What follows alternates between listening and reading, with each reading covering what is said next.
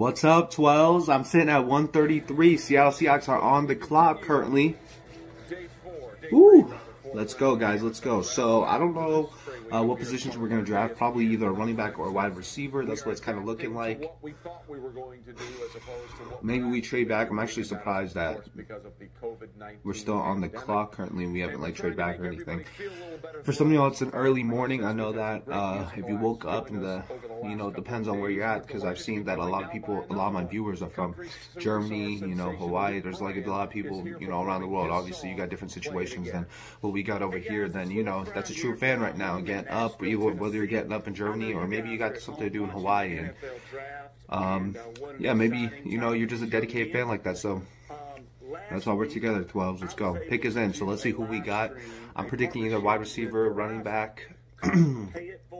uh, Cornerback could be an option. DT is an option. Offensive tackle is an option. Look out for those five positions. Let's see. And uh, Verizon and I are okay, pick is in. Pick is in. Seattle selection is hashtag pay it forward live.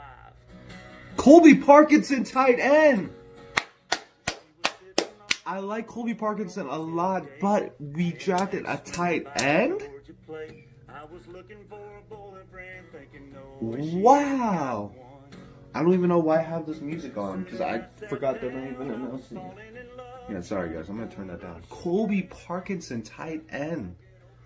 Whoa. What a curveball, really? So we're rolling five tight ends? What's going on? Someone's not going to make the roster, obviously.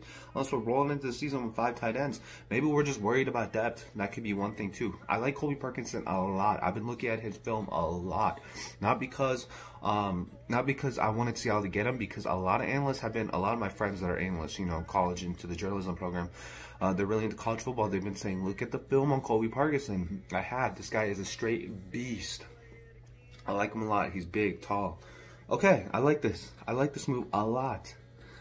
Uh, it leaves kind of a question mark in terms of our tight end situation, but uh, because now we got five tight ends, obviously we got Willson on the team, Hollister, Olsen, and Dissly, so this is going to be kind of weird to like see how this kind of plays out, but we'll keep you guys updated, guys. I'll see you guys in about 10 picks, so go Hawks. Let's go, baby.